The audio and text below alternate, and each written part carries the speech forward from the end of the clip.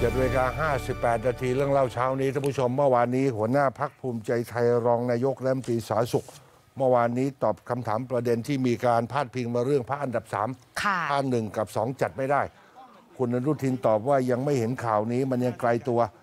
เพิ่งไปหารือกับพรรคอันดับสองคือเพื่อไทยมาบรรยากาศก็เป็นไปด้วยดี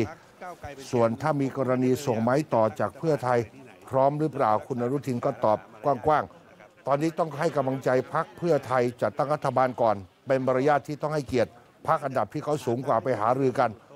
วันนั้นก็แค่ไปบอกว่าภูมิใจไทยติดขัดอะไร และให้กำลังใจซึ่งกันและกัน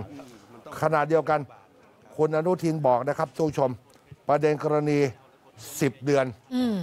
ให้ยื้อไปเลยค่ะเมื่อไม่ยอมโหวตให้หมายถึงสว แล้วก็ไม่ผ่านสักทีค่ะพันดึกแปดพักสิบเดือนรอหมดวาระค่อยเลือกนายก คุณอนุทินตอบว่าไม่ควร ไม่ควรต้องปล่อยเวลาให้นานขนาดนั้นค่ะ บ้านเมืองต้องมีรัฐบาล มีคนมาทำงานการเมืองก็ต้องเสียสละต้องคิดถึงชาติบ้านเมืองให้มาก ๆ ต้องยึดบ้านเมืองเป็นหลัก เพราะฉะนั้นก็เน้นย้ำคล้าย ๆ กับที่แถลงคู่กับหมอจุลนานวันเสาร์ใช่ไหมน้องใบร์ทค่ะว่าจริง ๆ มันจะมีปัญหาจริง ๆนะรัฐบาลรักษาการ